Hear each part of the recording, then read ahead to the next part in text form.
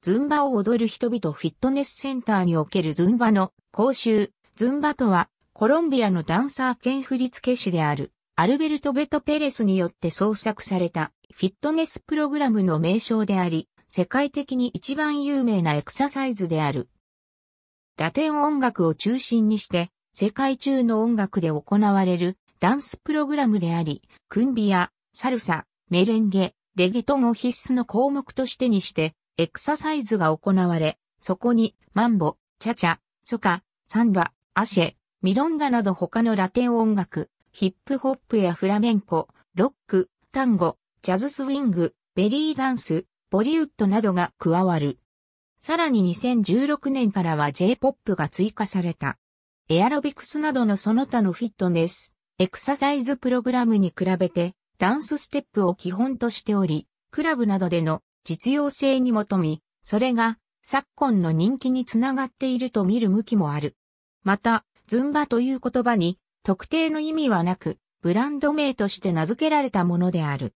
1990年代のコロンビアでエアロビクスのインストラクターをしていたペレスは、ある日、曲の入った音楽テープを忘れてしまった。そこで彼はカバンに入っていたお気に入りのサルサやメレンゲのリズムが入った伝統的なラテン音楽のテープで即興の振り付けを行うこととなる。1999年にコロンビアからアメリカへ移ったペレスにより、2001年最初のズンバクラスがマイアミで行われた。それ以来、現在では1500万人以上の愛好者がおり、180カ国以上、20万以上のスタジオで毎週ズンバのクラスが開催されている。日本においては2007年にペレスが来日、インストラクター制度が導入され、ズンバクラスが開講された。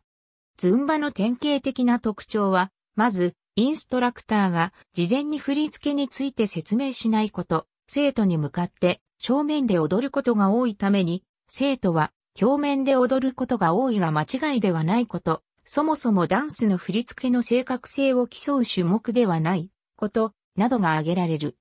レッスンは1曲目から、インストラクターの説明は、インストラクターはレッスン中は喋ってはいけない決まりになっており、生徒はインストラクターの振り付け、ジェスチャーを見ながら柔軟にレッスンをこなす。インストラクターの手本が難しいと感じたら、左右にステップを踏むだけでもよく、逆に簡単すぎると感じたら、ターンやジャンプを付け足してもよい。ズンバは非常に生徒側の自由度が高いダンスである。曲調に合わせて自由に掛け声を入れてもよく、他のダンスに比べると、見せるために正確な振り付けを覚えるダンスというよりは、楽しむためにその日の気分でアドリブで楽しむダンスエクササイズと言える。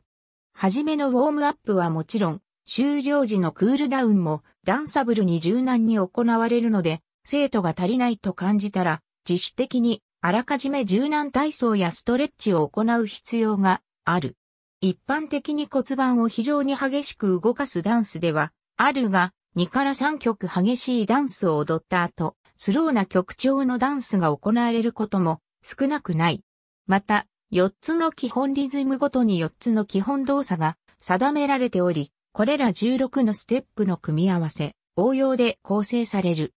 選ばれる音楽は、ラテンやインド舞踊、アフリカンなど民族舞踊が好まれることが多いが、J-POP、K-POP、アメリカンロックなど多岐にわたる。非常に自由度の高いダンスということで、指導を行うインストラクターには、振り付けのセンスはもちろん、その日の生徒の気分や習熟度に合わせて、選曲のセンス、ファッション、生徒との会話能力など、様々な要素が要求される。振り付けや選曲の種類はインストラクターによって様々な傾向があり、生徒は自分の好みに最も合ったインストラクターのもとでレッスンを受けるのが理想的である。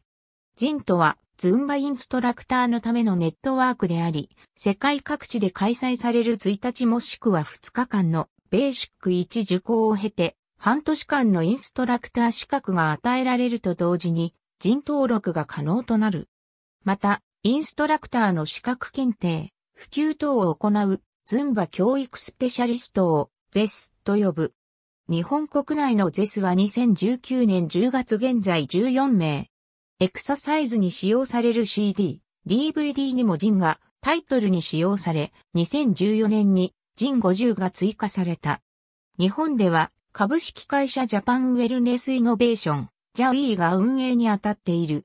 2017年6月、イラン政府はズンバを禁止。ラテンアメリカ発祥のズンバの動きがイスラム的な価値観に反しているとの見解。アシダアイナ、藤井聡太とのサントリー緑茶イエモンでの対談の際、ハマっていると語っているサントリー緑茶、イエモンアシダアイナ藤井聡太対談、早見優。ありがとうございます。